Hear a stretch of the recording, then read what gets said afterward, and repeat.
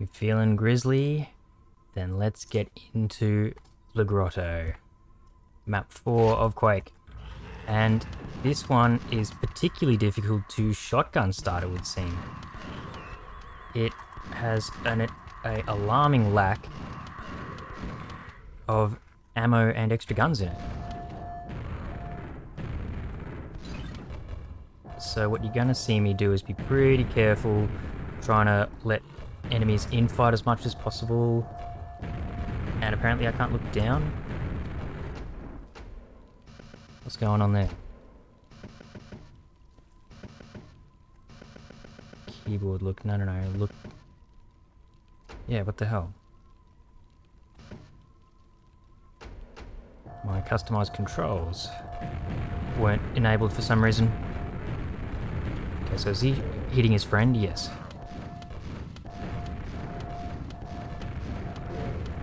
I wonder why it lost my configuration like that. Hopefully there's nothing else that I configured that I'm forgetting about. Anyway, anyway. So on this map, I'll be using the single barrel shotgun a lot.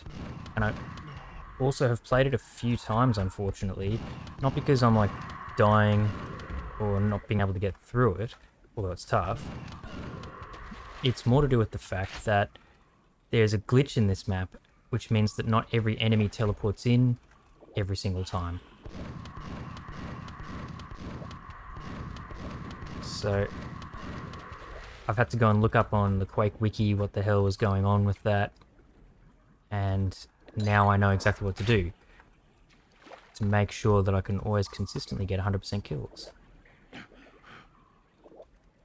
actually no, I don't want to fight this guy yet anyway, I want to keep the shells. Also, when you're in the water, you can't center your view, which is a little bit funny to me. The reason I want the shells is to snipe this guy now.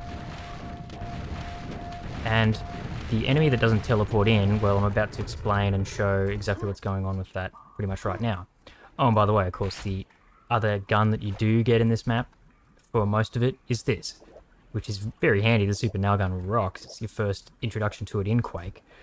But it uses a lot of ammo, so on a map that's pretty scarce ammo-wise, the one other gun you do get, chews through your ammo.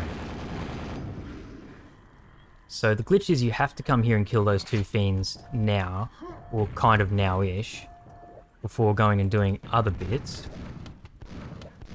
Because if you remember this map, and I'll show you when we get there, there's a moment where like an ogre comes out of like a trap where he like rises out of like a little watery pit. And if you haven't killed those fiends before the ogre rises out of the watery pit, it will stop another ogre from being released from like a hidden room. And then therefore you can't kill that ogre and you won't ever get 100% kills on this map. So that's why I've done this in that order, but also it's actually a pretty good order to do the mapping, just generally speaking, I'd say. When you're shotgun starting it, that is. Because having, like, guarantees of enough nails and health to take out those fiends is pretty cool. Okay, why is this guy not showing himself? Now there's a box of nails in the water here, very necessary given this map. And then the ogre from the trap that I'm talking about is here. If you do that before taking out those fiends, well then there's one ogre who will never appear. And I'll point out which ogre that is when we get there.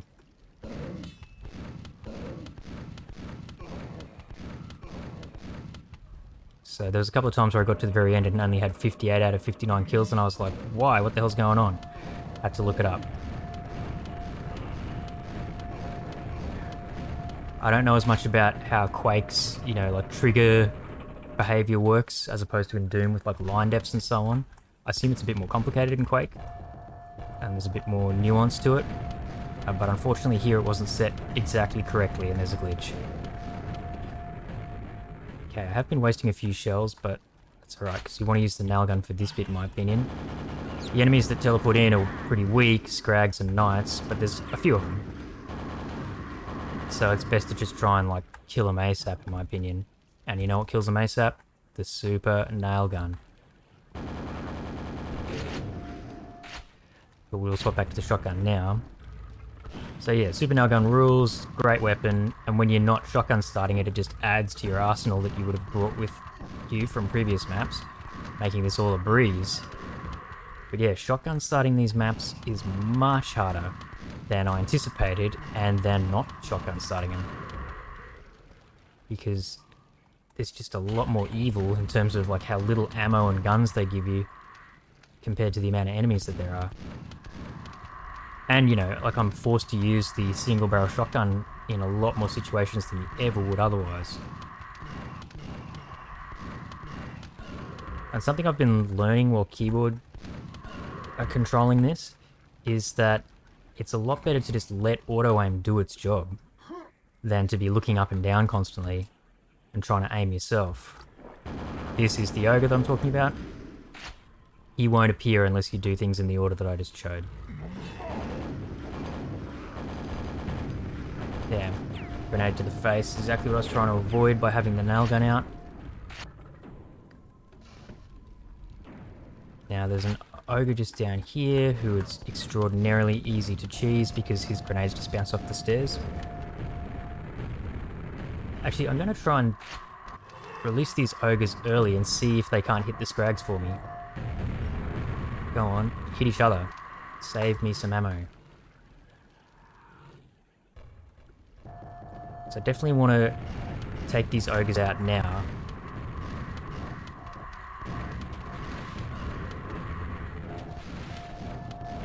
Because the progression in this map, in my opinion, to get through it, given how little ammo there actually is, is to kill these ogres and prioritize going to the secret area that you open by pressing the buttons where they are. Oh, his grenades fell into that toxic slime there, that's pretty annoying. Okay, is there health that I've left out here? No, that's alright. This will do. Now I'm gonna...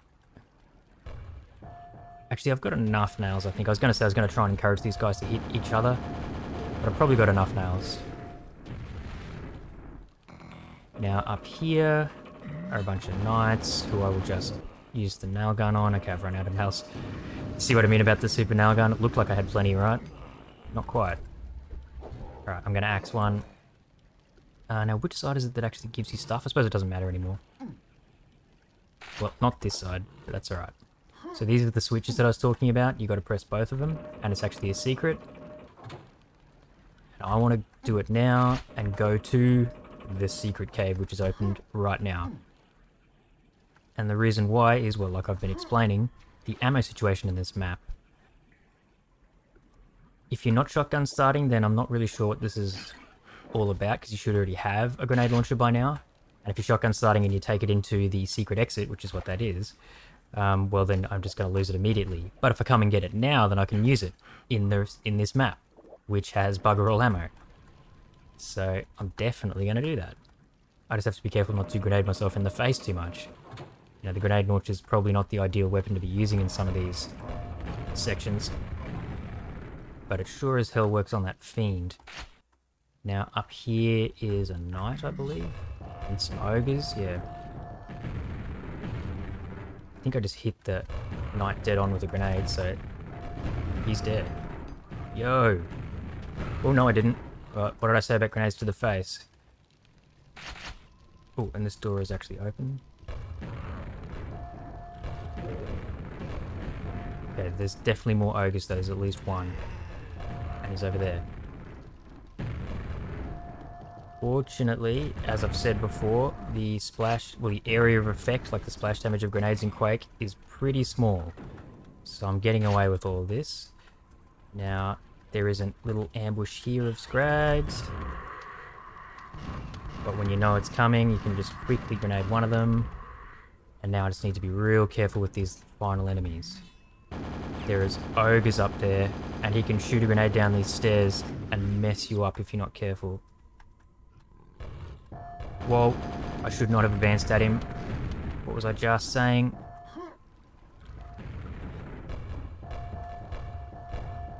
Look at this grenade battle of the century. Screw you. Okay, cool.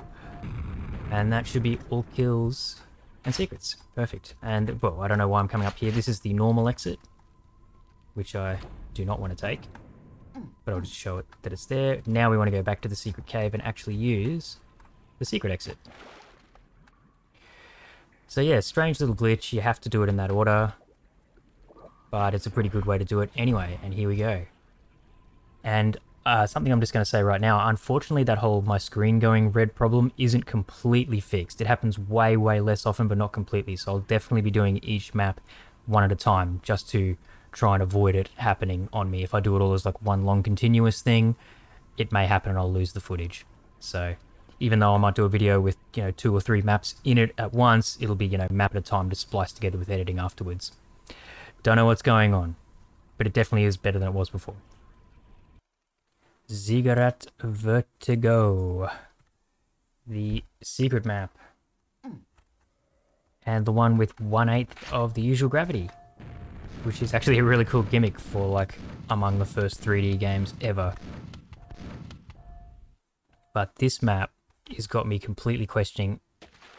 Damn, that's really bad. Has got me completely questioning whether shotgun starting Quake is even a... and getting 100% kills and secrets is even, like, a thing. I mean, it's definitely not much of a thing I've come to learn. Because I've, you know, Googled it now and I don't find that many results for it. Definitely it's like been a thing before to like record demos. But it's certainly nowhere near as popular as Doom and I think the reasons for that are pretty obvious when you actually start trying to do it. The game just simply does not seem like it was designed for it. Okay, now on this map you do get one other cool gimmick. The most OP rocket launcher in any first person shooter ever pretty much. Which we need to use to kill these guys. It would seem. And now I have no ammo, so I'm going to have to go and get... Oh, I have rockets now, but still, I need to come down and get all the extra ammo here.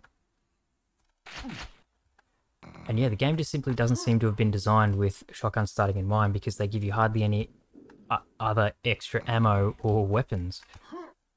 Like, yeah, in these, like, introductory maps, you get given a new gun every time just to sort of show them off. Like, it was the super nail gun before, now it's the rocket launcher. But then not, like, say, another nail gun or another super shotgun. And not getting another nail gun is incredibly painful in this map because there are so many nails around the place. Um, which also really makes me think they just expected you to continuously play.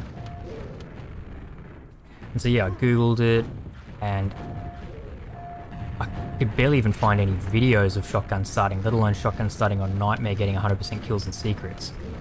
So I think what I'm doing right now is actually incredibly rare and not really something that even Quake diehards do. So I'm thinking what I'll try and do is see out episode one like this, but then if I do go on to play episodes two and three and so on, I'm just going to continuously play like everybody else does because this is bloody brutal. Oh no, I really wanted that backpack. In fact, I kind of need it, so I'm going to have to go back up. That's how, like, brutal this map is for ammo. Like, I really want that backpack to get those extra two rockets. The cool thing about this uh, gravity, though, the lack of it, as you can see, is that ogres just shoot straight over the top of your head. Oh, there's a backpack here as well. So after I pick up this other backpack, I will have 17 rockets. And it's got me... What the... There is no backpack here. What the hell? What the hell was I seeing? Was the crispiness just doing in my eyes? So I think I want to try and take out as much of this area as possible with the shotgun. You have quite a few shells.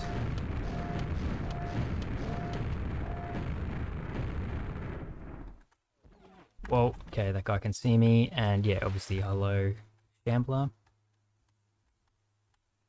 I don't know if 48 shells is enough. Okay, cool. He is managing to hurt someone else, I think, so I'm going to allow that because I really need it. I'm just going to take him out now. He will have damaged it somewhat. Oh, cool. He had annoyed the Shambler.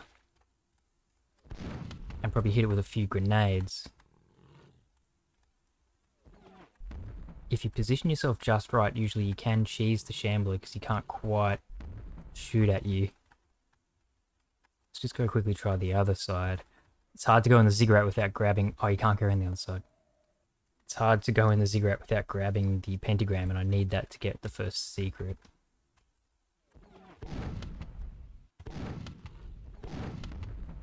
Okay, this is kind of working. And I peekaboo the shambler with the single barrel shotgun? 27 shells.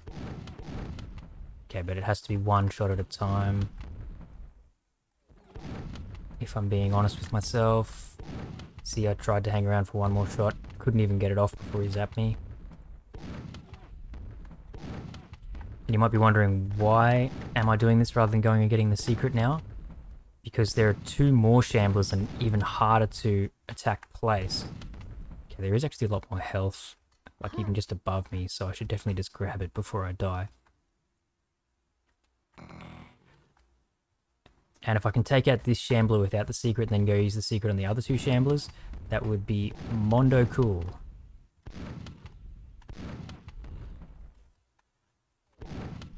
Please die. I'm just praying that like the grenades the ogre hit him with softened him up enough. Right, I'm going to have to use rockets, but see the thing is that's sketchy because they travel so slowly. Yes, he died. Okay. Okay. Let's go look for health. Actually, you get health in the secret, but I don't want to go there yet. I want to clear even more of that area out. Yes, there's health over there. Oh no. Oh no, there's health up there as well. That's what I'm thinking of, the health that's like up here.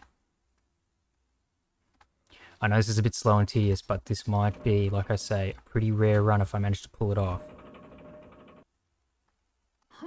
Nightmare Quake E1M8 with 100% kills and secrets.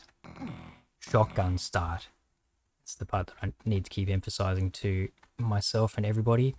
It's rare to do it shotgun start. Alright, so with the Shambler dead, things are probably a lot calmer in here. Okay. That guy I don't really have the ability to take out right now.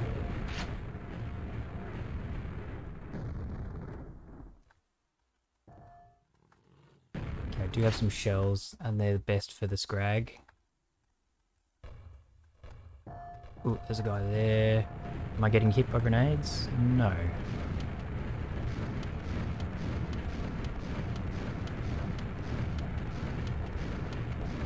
Die, please. Should have saved him for these guys. Okay. Well, that's horrible aim. No crosshair and keyboard. Okay, he's dead. Oh yeah, because he got damaged by grenades earlier, which is cool.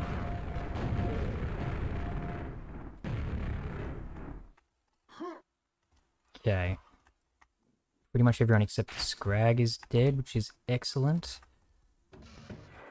And now it should be time to go pretty much and get that uh, quad damage and pentagram actually.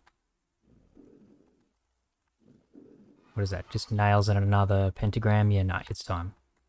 And then we need to just sprint up the lift here and try and take out those other two shamblers with the quad and the pentagram and hope that 15 rockets is enough.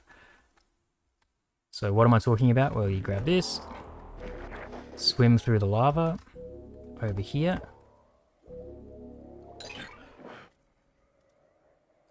And we get a quad as well. And then I think I want to take the lift on the left hand side.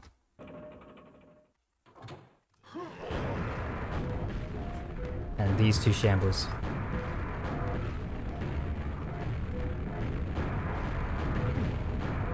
But protect. Okay, yes managed to get him. Oh. The pentagram was not on, but fortunately the quad was.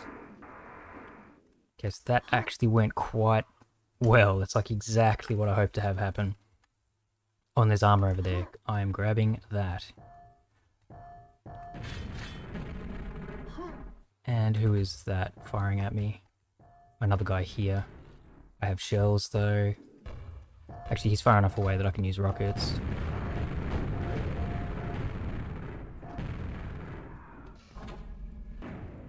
on the, the scrag. Oop. Just die, would you? Ooh, and there's another pentagram here, but I don't want it just yet. There are better times for that. In fact, while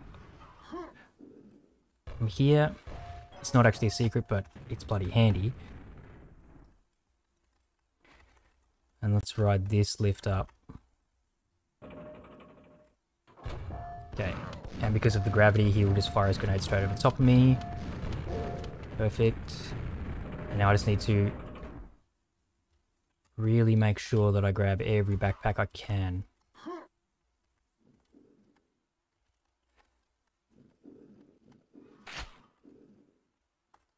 Any other backpacks?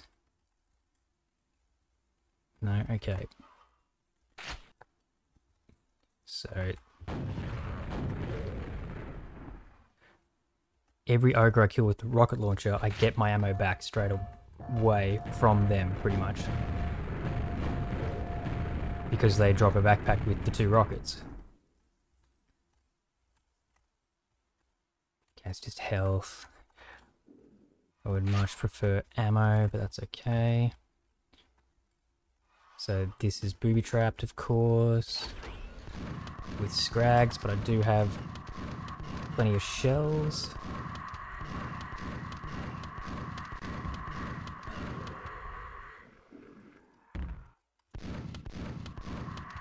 God damn it, auto aim. I can't afford to be wasting this many shells. Three more enemies. And I have 10 rockets, so... I might be okay. This might be happening. The final secret is right near the exit. And if they're all ogres, then yeah, I should be fine because they'll, of course, replenish. Yes, I've done it. Unbelievable. So, yeah, look, I apologize for the slow and tediousness of this. Where is it? Here, it's in a little depression. See how the secret? But there we go. That is Ziggurat Vertigo. Shotgun start, nightmare, keyboard controls only. 100% uh, kills and secrets. Bloody difficult. Uh, required very careful planning, but hey, it's possible. I will continue episode one doing it shotgun start, but man, this may be quite the challenge. Um, I don't think Quake is meant to be played this way. So as I say, if I go on to do episodes two and three, I'm probably just going to do it continuous. If it's not really a thing, then why torture myself? Anyway, hope you enjoyed. Peace.